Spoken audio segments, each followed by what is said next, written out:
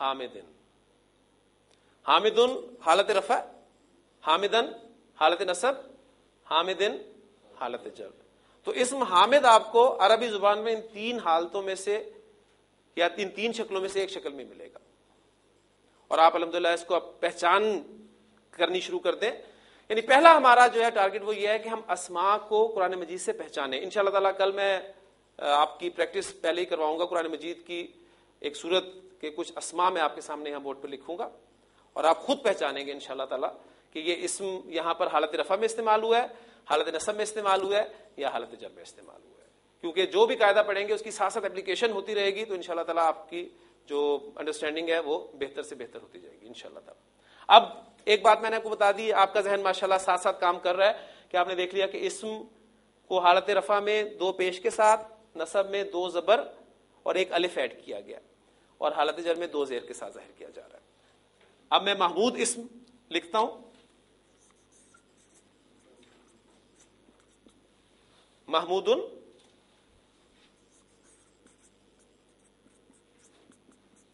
حالت نصب اس کی۔ محمودن۔ حالت جار اس کی۔ محمودن۔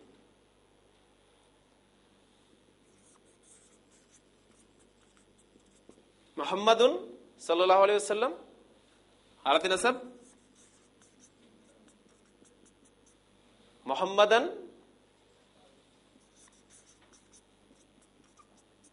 اور حالت جر محمد تو الحمد آپ اس قابل ہو گئے ہیں، جو پہلی مرتبہ عربی پڑھ رہے ہیں، کیا وہ بتا سکتے ہیں کہ ہم کلمہ طیبہ میں اس محمد صلی اللہ علیہ وسلم حالت رفع میں استعمال کرتے ہیں؟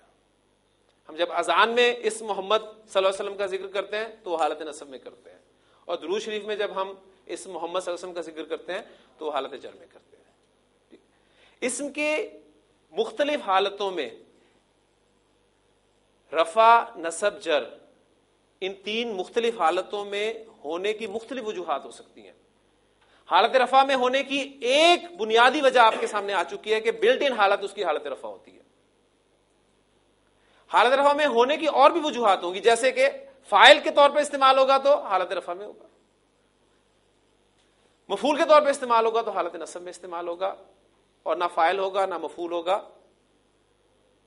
تو اس کا تعلق کسی اسم کے ساتھ قائم کیا گیا ہوگا یا کچھ حروف سے پہلے ایسے آئیں گے جو اس کو حالت جن میں لے جائیں گے، تب وہ حالت جن میں جائے گا۔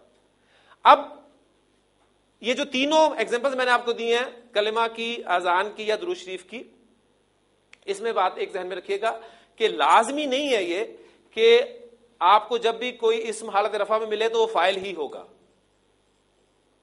میں نے آپ کو بتایا کہ اسم کی تینوں حالتوں کی مختلف وجوہات ہو سکتی ہیں۔ ایک وجہ اس میں سے یہ ہے کہ استعمال ہوتا ہے تو حالت رفع میں استعمال ہوتا ہے۔ لہٰذا آپ اب اس کو اس کنیکٹ کرنے کی کہ لا الہ الا اللہ محمد رسول اللہ صلی اللہ علیہ وسلم میں محمد اسم جو ہے فائل ہے۔ وہاں کوئی فیل کا ذکر نہیں ہوا ذہن رکھیے گا۔ وہاں صرف یہ بات ہے، ایک جملہ ہے کہ محمد صلی اللہ علیہ وسلم اللہ کے رسول۔ ٹھیک؟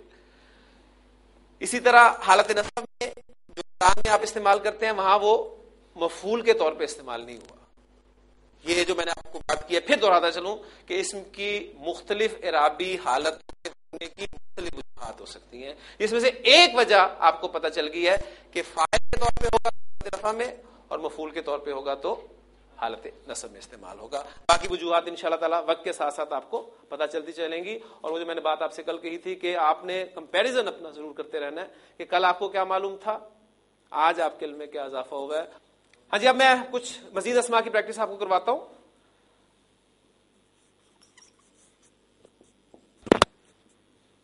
مسجد اس اسم کی حالت نصب آپ خود بولیں گے ان شاء اللہ تعالیٰ، کیا بنے گی؟ مسجد حالت جر کیا ہوگی؟ مسجد اب مسجد کا دروازہ ہوتا ہے، جس طرح آپ کے کمرے کا ایک دروازہ ہے، تو دروازے کو عربی زبان میں بابن کہتے ہیں۔ بابن۔ یہ حالت رفع ہوگی، حالت نصب کیا ہوگی اس کی؟ بابن۔ بابن۔ ایک چیز آپ نوٹ کر رہے ہیں کہ یہ اسما جو میں آپ کے سامنے بورڈ پر لکھ رہا ہوں، ان اسما میں، حالت نصب میں دو زبر کے بعد ایک الف میں استعمال کر رہا ہوں۔ یہ عربی زبان کا قاعدہ ہے۔ یہ پچاسی فیصد اسما ہے جو تین عرابی حالتوں میں تین شکلیں اختیار کرتے ہیں۔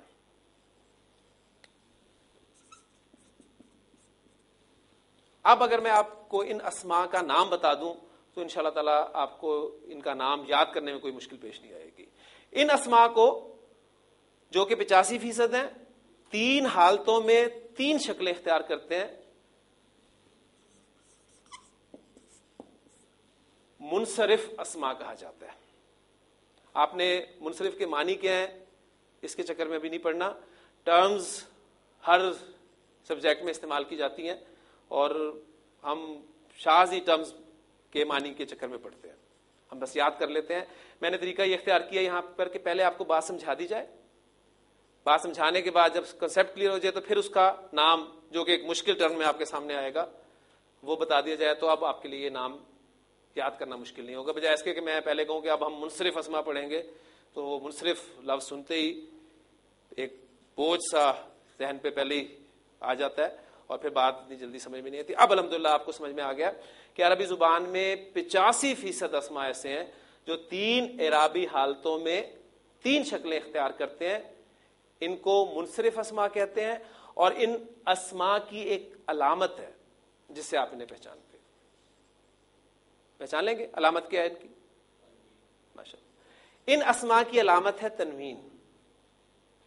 چاہے دو پیش آئیں چاہے دو زبر آئیں چاہے دو زیر آئیں تو منصرف اسما کی علامت کیا ہے؟ تنوین۔ تنوین کن اسما کی علامت ہے؟ منصرف اسما کی تعداد کتنی ہے؟ پچاسی فیصد اسما کو کیا کہتے ہیں؟ پچاسی فیصد اسما تین عرابی حالتوں میں کتنی شکلیں اختیار کرتے ہیں؟ تین عرابی شکلیں اختیار کرنے والے اسما کی علامت کیا ہے؟ تنوین کن اسما کی علامت ہے؟ منصرف اسما کسے کہتے ہیں؟ وہ اسما جو تین حالتوں میں تین شکلیں اختیار کرتے ہیں اور ان کی علامت تنوین ہے۔ بالکل اسی طرح جس طرح ایک مومن بندے کی علامت نماز ہے۔ آپ نے منصرف اسما کو پہچاننا ہے تنوین سے۔ اور ایک مومن بندے کو آپ نے پہچاننا ہے نماز سے۔ یہ ہو ہی نہیں سکتا کہ منصرف اسم پر تنوین نہ ہو۔ اور یہ ہو ہی نہیں سکتا کہ بندہ مومن ہو اور نماز نہ پڑھے۔ نبی اکرم صلی اللہ علیہ وسلم نے فرمایا کہ نماز میری آنکھوں کی ٹھنڈک ہے۔ اور آپ نے فرمایا، آخری وقت آپ کی زبان مبارک پہ جو الفاظ تھے، وہ کیا تھے؟ نماز نہ چھوڑنا۔ اب اگر دعویٰ ہے ہمارا مومن ہونے کا، مسلم ہونے کا۔ تو ذرا چیک کریں کہ علامت ہے۔ بہت ضروری۔ نماز کے بغیر بندہ جو ہے وہ مومن نہیں اللہ تعالیٰ عمل کی توفیق عطا فرمائے۔